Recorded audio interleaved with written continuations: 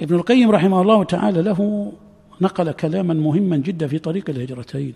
قال فيه العارف بالله لا يعاتب ولا يطالب.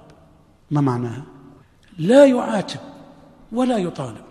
يفعل الخير للناس لكن لا يعاتبهم. فلان لم يحترمني فلان ما سلم علي. فلان يا أخي ما يعرف مكانتي لازم يقدرني. لا يعاتب ولا يطالب. لماذا لم يفعل الناس معي كذا؟ لماذا كذا؟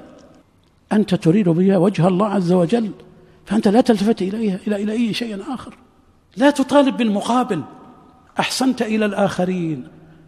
أهديت لهم نفعتهم علمتهم درستهم دعوتهم إلى الله. كان لك أثر طيب. يجب أن ترجو به وجه الله. لا لا تطالب بالمقابل. هذا مرض. فالعارف بالله لا يعاتب.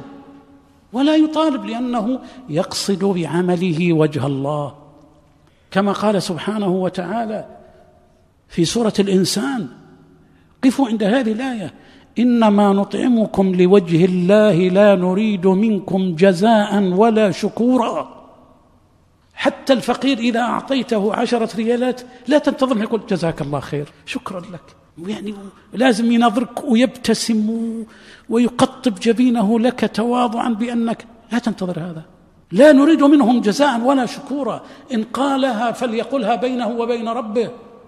لكن أنا لا أنتظر منه هذا الثواب. أنا أريد وجه الله عز وجل. مثله يا أخي أنت طالب علم ولا داعية إلى الله ولك تأثير. يا أخي لا تطالب الناس.